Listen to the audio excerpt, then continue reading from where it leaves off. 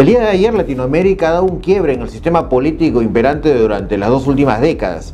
El presidente electo de Brasil, Jair Bolsonaro, prometió este domingo cambiar el destino de Brasil y arrancar a la principal potencia de América de la influencia del socialismo y del extremismo de izquierda.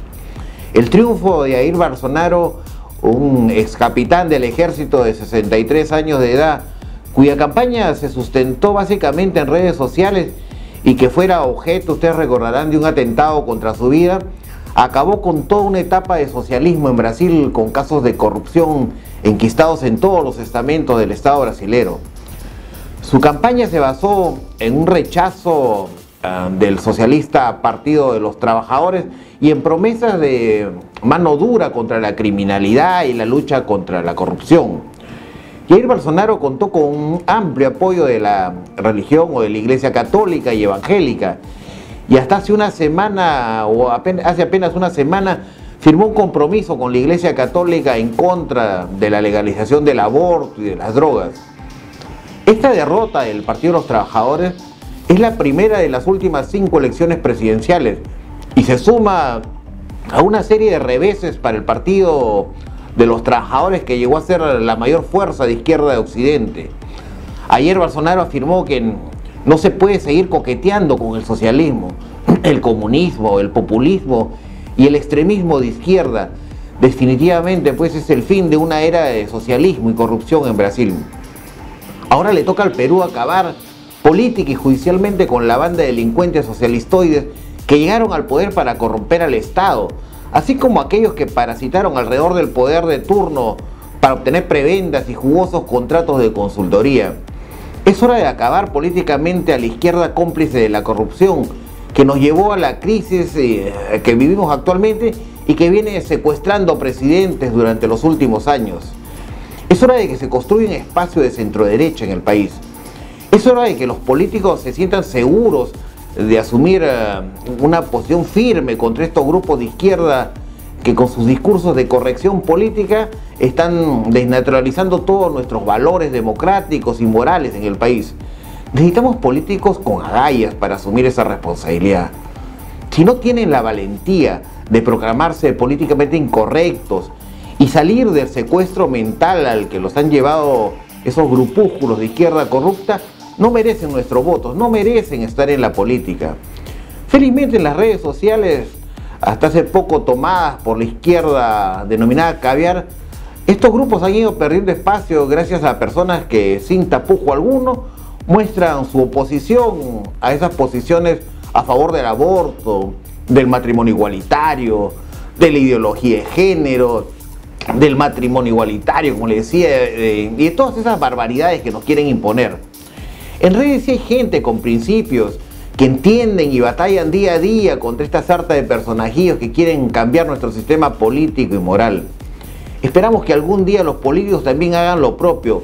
Si no, como decía, ha llegado la hora pues de cambiar la clase política. Y hablando de corrupción socialista, el miércoles se debatirá en el Congreso el informe de la Comisión Lavajato y todo de entender que determinará responsabilidades en altos funcionarios grupos económicos y mediáticos cómplices todos estos de actos de corrupción. Este miércoles pues se conocerá a los responsables y encubridores del caso de corrupción más grande que haya visto América Latina y el Perú, la Bajato.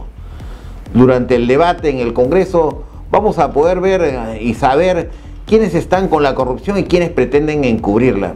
Hay que estar atentos a las intervenciones en este debate, sobre todo las intervenciones de los congresistas. Es previsible que varios se quitarán pues la máscara en el Congreso, no ese día. Ustedes podrán ver eh, cuántos defensores de la Bajato esgrimirán mil argumentos con tal de no aprobar el informe. Dirán que la come está mal puesta, que no se ha incluido mosca loca, en fin, eh, solo excusas para dilatar y rechazar un informe que acarrea serias responsabilidades.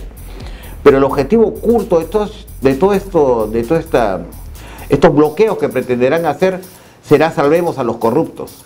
Atentos a la hora del debate en el Congreso, a las votaciones, a quienes planteen cuestiones previas dilatorias, a quienes pidan que se incluya hasta a Francisco Pizarro por robarse el oro del país.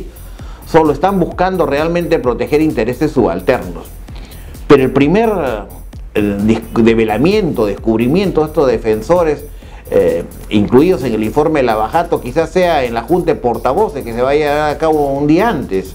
Eh, en esta reunión de Junta de Portavoces se votará um, un pedido de levantar la reserva del informe de Lavajato para que la ciudadanía conozca quiénes son los presuntos responsables del caso, como decía, más grande de corrupción que haya visto el país y en el debate del pleno pues pueda ser público y no reservado y podamos ver todo el comportamiento de nuestros congresistas frente a un informe de este tipo. Lástima que algunos por desesperación no esperen hasta el miércoles para comenzar a poner peros al informe Lavajato.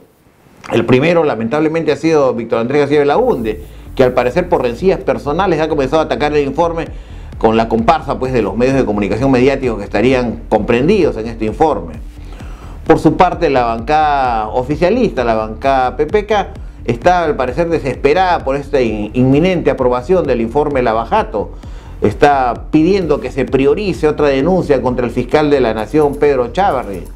Eh, recordemos que si se aprueba este informe, tendrá que ser remitido al Ministerio Público y caerá en manos de Pedro Chávarri para que formule las denuncias que correspondan. Ahí quizás está la razón por la cual quieren con premura ver el tema de sacar a Chávarri de, la película. ¿no? la izquierda, como siempre, es previsible que durante el debate se oponga pidiendo que se comprenda en el informe hasta el Papa y al final, como siempre, terminarán abandonando las sales sesiones. Y es que parte de la izquierda estaría involucrada en actos de corrupción en el caso Lavajato. Nosotros estaremos atentos al desarrollo de este proceso y les iremos informando a través de nuestros programas.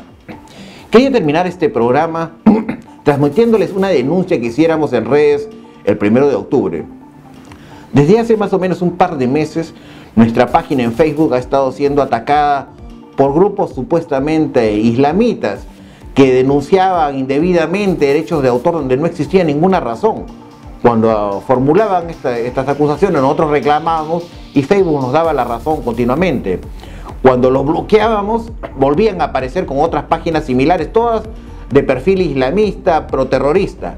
Luego comenzaron a colocar enlaces a sus páginas en nuestras publicaciones.